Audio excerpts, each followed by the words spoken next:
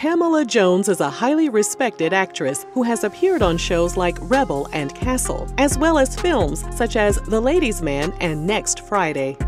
Away from the spotlight, her private life has had more twists and turns than many of her fans are aware of. This is a story about tumultuous relationships. So you're not dating Usher, but you did date um, Nate Dogg. And a traumatic health crisis.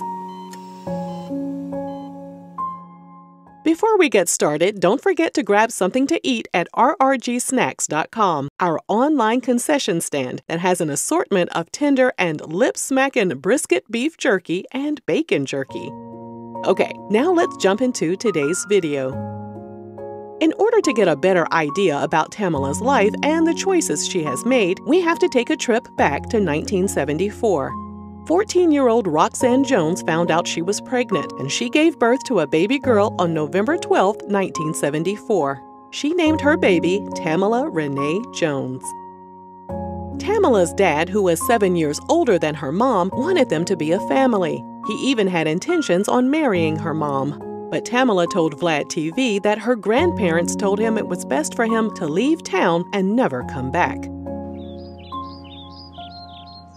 Tamala was raised in Pasadena, California by her mom and grandparents. She talked to her dad a few times here and there, but he was never able to play a huge role in her life. I, as a kid, suffered a lot from always wondering where my father was and, and what was he doing and why he didn't want to have anything to do with me. As she got older, Tamala realized his absence was actually a blessing. She told Vlad TV that his mindset would have hindered her, and God knew what he was doing by keeping her dad out of her life. Her mom went on to have two more children. Tamala said that while growing up, she was fixated on finding a way to provide a better life for her mom and her siblings. She started acting when she was 14, but it took her a few years to take things seriously. IBM was my first. And commercial. you made a good deal of money. Yes. You lost all your money doing what? How did you lose the money? shopping. After her agent threatened to drop her because she wasn't taking advantage of her window of opportunity, Tamala put her foot on the gas and never looked back. She had roles on shows like The Parenthood and The Fresh Prince of Bel Air. Ain't it, mean it, mine it, mo. Now some of y'all's clothes got to go. Her breakout role was in this 1997 film. Oh my God, you are the only man in this world I know dumb enough to do something like this. But Tamala told Double XL when she landed the role of Tanya in the movie The Wood, she finally felt like her career was on the right path. Sadly, life threw her a curveball. She told Essence magazine that right before she was set to start filming The Wood, she was filming three different television shows. She was so focused on her career that she was neglecting her own well being. In an interview with Black Doctor website, Tamala said she had been experiencing debilitating headaches for a few days. She said it felt like someone was stretching a rubber band around her head and pulling it tighter every day, and over the counter medicine wasn't helping. She woke up one morning and her headache was worse than ever. She had the urge to use the restroom, and when she got out of bed, she had no balance and no control over her movements. She finally made her way into the bathroom and stood in front of the bathroom mirror. Within two seconds, she dropped and hit the floor. When she woke up, she noticed the right side of her body was numb. She was scheduled to appear on set for one of the television shows to wrap up the last day of filming, but she knew she wasn't going to make it.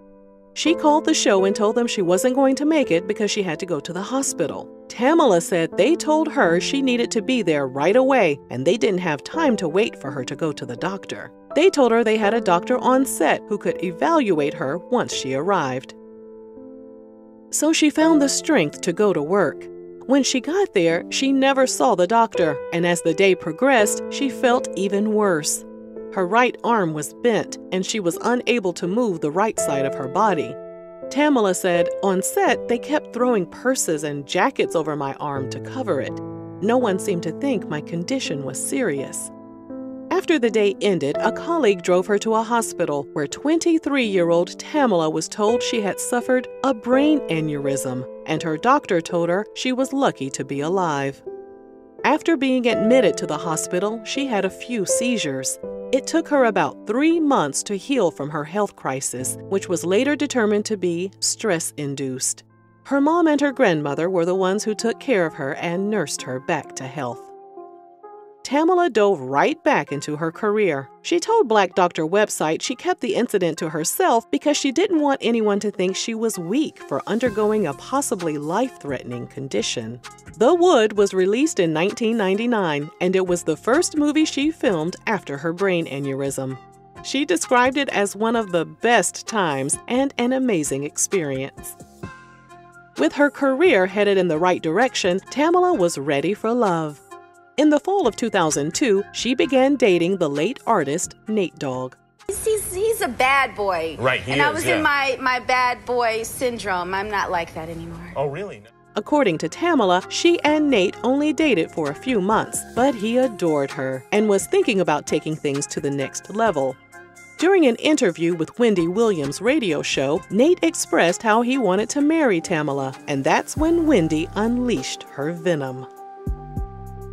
RRG is unable to uncover the original audio, but according to sources, Wendy called Tamala a nasty name and asked Nate why he would want to marry someone who had been passed around the industry and had such a bad reputation. For Nate, hearing those things about the woman he loved reportedly made him furious. Tamala told Vlad TV that Nate didn't just break up with her, he went off on her. When she found out it all stemmed from Wendy's interview, Tamala went to her lawyer and had Wendy served with a cease and desist. Tamala stated, I could have lost my life because of what she said. She was careless. Following their breakup, Tamala had a brief romance with Charles Woodson of the Oakland Raiders before moving on with Cameron Gipp, better known as Big Gipp of Goodie Mob. Gipp was newly divorced from R&B singer Joy and was said to be madly in love with Tamala.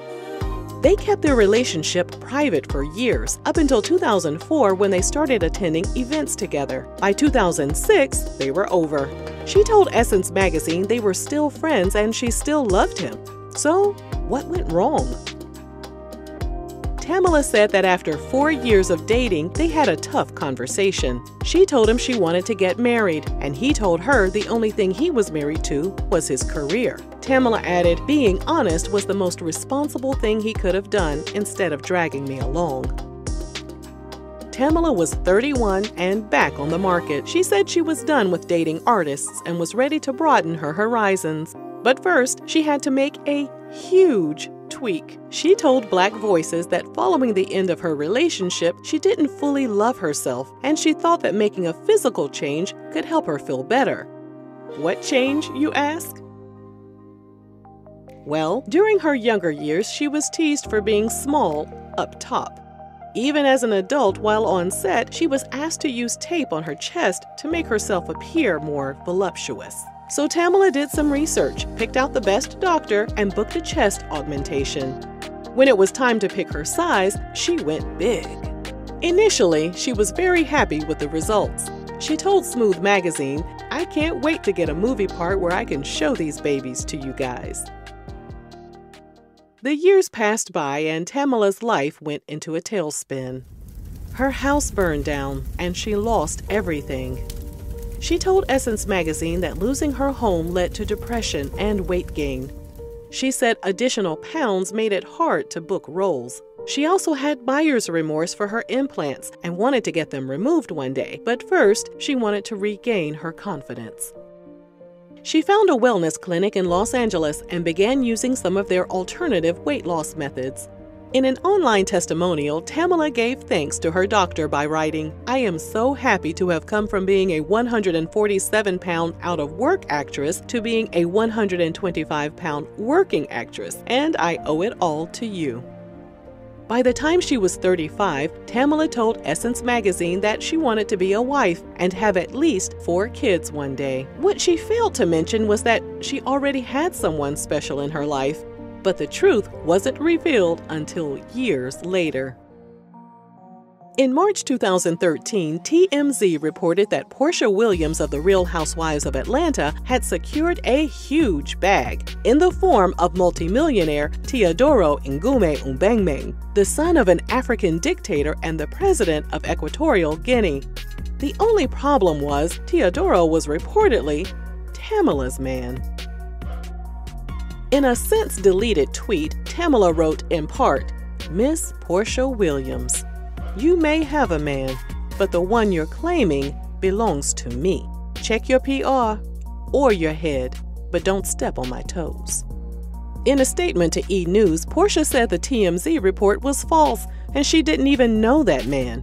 She also replied to Tamala's tweet by calling her childish. Porsha added, TMZ came up with the story. Take it up with them and your man. You seem cool. Stop embarrassing yourself. To say Tamala was embarrassed is an understatement. She later told Vlad TV that she had been dealing with Teodoro off and on for the past 10 years. His parents wanted them to get married, and she considered it at first, but she said he was too much of a spoiled rich brat. By the time TMZ posted the fake tea about him and Porsha, Tamala and Teodoro were already broken up. Tamala said Teodoro asked her to post the tweet because his parents were upset that he was in the news for some drama. Apparently, Teodoro had a tendency of publicly embarrassing his parents and the country of Equatorial Guinea with his wild behavior and his over the top spending. She officially ended their relationship once and for all and apologized to Porsha. These days, Tamala is still snagging gigs and is building up her impressive resume. After her role in the TV series Castle ended in 2016, she got her implants removed, and she's now embracing her natural curves. In 2019, she told the Nocturnal website that she sometimes thinks about having children, but she doesn't believe motherhood is in the cards for her. It took her some time, but she finally realized what's been holding her back. She told Vlad TV everyone thought she would be a teenage parent, just like her mom. Tamala said because everyone assumed she would have a bunch of children by a bunch of different men, she has done everything in her power to break that generational curse. Tamala will celebrate her 47th birthday in 2021, and we wish her many more years of good health, wealth, and happiness. If you enjoyed this video, let us know down below. And thanks for watching RRG.